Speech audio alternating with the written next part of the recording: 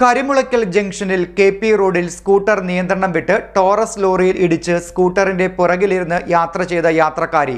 റോഡിൽ വീണ് മരിച്ച സംഭവത്തിൽ പ്രതിഷേധം ശക്തമാകുന്നു. വാട്ടർ അതോറിറ്റി പൈപ്പ് ലൈൻ ശരിയാക്കാൻ കുഴിച്ച കുഴിയിൽ വീണാണ് കഴിഞ്ഞ ദിവസം യാത്രക്കാരി മരിച്ചത്. ചാരുമൂട് കരിമുളക്കൽ ജംഗ്ഷനിൽ കെ പി റോഡിൽ വാട്ടർ അതോറിറ്റി പൈപ്പ് ലൈൻ ശരിയാക്കാൻ കുഴിച്ച കുഴിയിൽ വീണ് സ്കൂട്ടർ യാത്രക്കാരി മരണമടഞ്ഞ സംഭവത്തിൽ പ്രതിഷേധം ശക്തമാകുന്നു. സ്കൂട്ടറിന് പിന്നിലിരുന്ന വനിതയാണ് കഴിഞ്ഞ ദിവസം മരിച്ചത്. ഇവർ സഞ്ചരിച്ചിരുന്ന സ്കൂട്ടർ നിയന്ത്രണം വിട്ട് ടോറസ് ലോറിയിൽ ഇടിക്കുകയായിരുന്നു.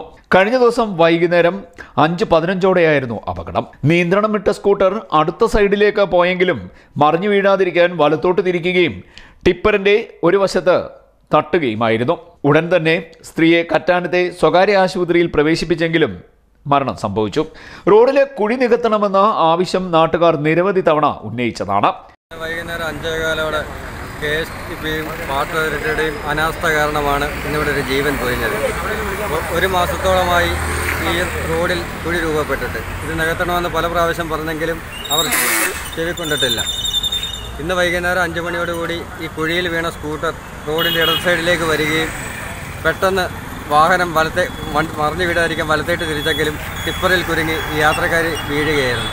ഉടൻ തന്നെ ഞങ്ങൾ നാട്ടുകാർ അവരെ ആശുപത്രിയിൽ എത്തിച്ചെങ്കിലും മരണപ്പെടുകയായിരുന്നു. ഇതിന്റെ പൂർണ ഉത്തരവാദിത്വം വാട്ടർ അതോറിറ്റിക്കാണ്. ഒന്നര മാസക്കാലമായിട്ട് ഇത് ശരിയാക്കാതെ ജനങ്ങളുടെ ജീവൻ വെച്ച് പൊന്താടുന്ന വാട്ടർ അതോറിറ്റിയുടെ അവ അനാസ്ഥ ഇനിയും തുടർന്നാൽ തുടർന്നും ജീവൻ പൊലിയുന്ന അവസ്ഥയാണുള്ളത്. മൂന്ന് തവണ വാട്ടർ അതോറിറ്റിയോട് കംപ്ലൈന്റ് ചെയ്ത് അവരിത് ശരിയാക്കാൻ വന്നെങ്കിലും വെറും സിമെന്റും മണലും ഉപയോഗിച്ച് ഈ കേപ്പ് റോഡിൽ ഇത് ഇടുകയും എന്നാൽ ഈ വാഹനങ്ങൾ കയറി ഇറങ്ങി സിമെന്റും മണലും ഇളകിപ്പോകുന്ന അവസ്ഥയാണ് ഉണ്ടായത്.